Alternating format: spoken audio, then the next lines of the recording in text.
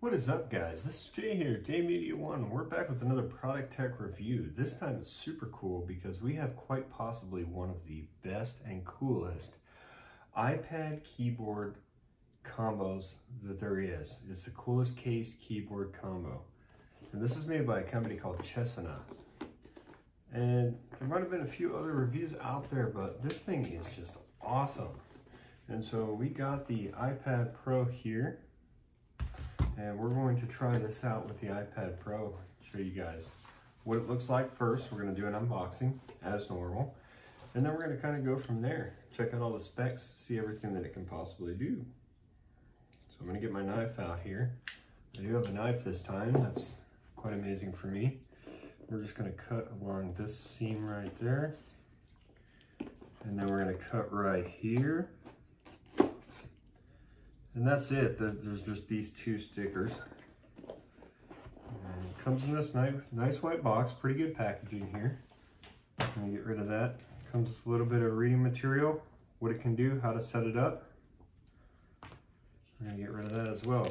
And then keyboard combo comes in a plastic case like this, plastic bag. Take it out of there. I have to use a knife for this one. Cut it at the top, unwrap it.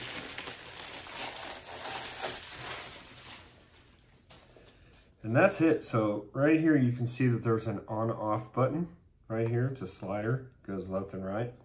Then you have this obscure looking cable here that's USB-C. That is what's going to plug into the iPad. Then we also have a little notch right here. You can see that, that's where the camera cutout is. And then on that, it's like a clamshell opening style case. Nothing super special there.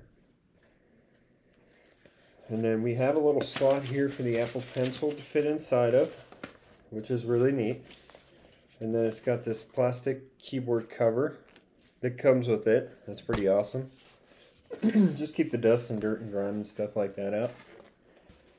And so it feels pretty light. There's a lot of flex right here around the edge. And that's just so that we could slide the, uh, the iPad in there. It's not too heavy. I expected it to be a little bit heavier, but this is for the 11 inch iPad model. If you were to get the 12 inch, I'm sure it would be much heavier. So here's what makes this thing so cool. If you look at the side, when you get this keyboard case, you get a USB-A there, you get an HDMI here, all this open space so that it can breathe and your speakers can sound real nice. Then if we flip it around, you get another USB-A and you also get a 3.5 millimeter headphone jack. And that just makes it awesome. The coolest part too is that it is detachable. So we can slide it off right there. It just comes right off. And it's magnetized, so it holds pretty good. And if you get it right in the right place, it just snaps right in there. I mean, real nice, super easy. Folds down, turns it into basically a laptop. So we're going to pull this off and detach it. And we're going to do that just so we can slide in the iPad. So this is an this isn't the this is a 2018 iPad. So this isn't the 2020 that's got the four cameras, which this is notched out for. However, this should work just fine as far as size. They're the same. The only difference would be uh, the cameras themselves. So we should be able to slide this in here no problem. We just got to find the best way to do it. So it is notched a little bit down here at the bottom. And then it is notched here at the top. So we're going to try to slide it in this way first and just kind of lay it down. So we're going to slide it in here like this. Just like that. And we're going to tuck it. And it is a super tight fit, guys. It really grabs onto it. I'm actually to the point where I'm prying away on the side, but there it goes. You can finally hear that final click where it just sits down. And I already have a, a glass screen protector on this, which is why it looks so reflective inside of there. But that's what it looks like, and it's a tight, tight fit. This thing is not going to come out of there. There's no way. On the back, like I said, since this is the older iPad Pro, it doesn't have the four cameras, but it fits just fine. It's perfect. And then you got your volume rocker right here. And then underneath, you can see the, the four little slots here. and those match up with these four slots so that you can line it up easier. And then there's just a, a pin connector here and right there. And that's what that's what it touches in order for it to make contact. And these are spring-loaded uh, pins inside of there as well. So then you take this portion of it, USB-C, and you go ahead and you just plug that into your iPad. And you got to work that a little bit to get it in there. And then it slides in there real nice, and you kind of just kind of tuck the cable down in here like that. You just fit it down in there. Takes a little effort, but I like it to look clean. So now it's down in there. It looks really, really nice and clean. And we just take the iPad, we set it on top, and it's there. And the coolest part is, is see the backlights? Backlights come on as soon as you plug it in. Um, so the iPad does turn the keyboard on. Uh, this iPad's not set up yet. But the iPad um, turns the keyboard on, it powers the keyboard, which is awesome. And then you got all these function row buttons up here as well. So you get your volume rockers, your lock screen, uh, your home screen, your brightness display, your web. So you get all this extra stuff that you wouldn't get on something like a uh, like a Magic Keyboard from Apple. And then, like I said, there's also the really cool slot for the Apple Pencil.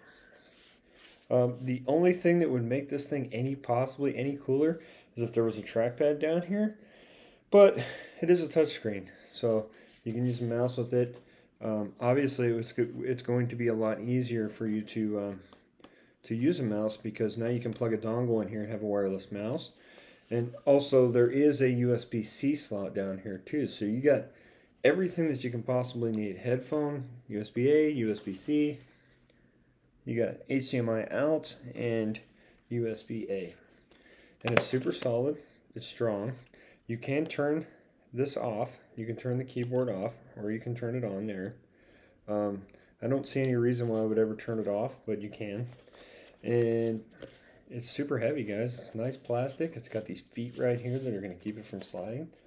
And uh, it just makes it really have that laptop feel opening it up you guys can see it there if you were to put it down and then open it back up it's just really super nice clamshell design and so next we're going to go over a little bit of the tech specs we're not going to go too deep but we're just going to talk about a few things as far as you know battery life and things like that and that's it and then we're gonna get out of here guys so hold tight.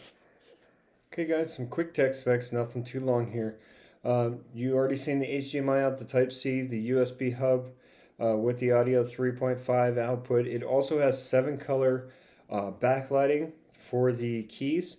So you can pick between blue, green, red, cayenne, purple, yellow, or white, whatever you prefer. Um, this one's specific to the uh, 11, but you can also get it for the 12. It has the Apple Pencil little slot down inside of there. And the most important part about it is this thing only costs $99.98. So if you guys want, give this thing a look. It's definitely well worth it. I'm going to play with it for about a week or so. We might come back to this, tell you guys how it does. Other than that, guys, if you like this review, mash the like button and also subscribe to the channel so you can stay up to date when we come out with new new reviews and new videos on the newest and coolest tech products.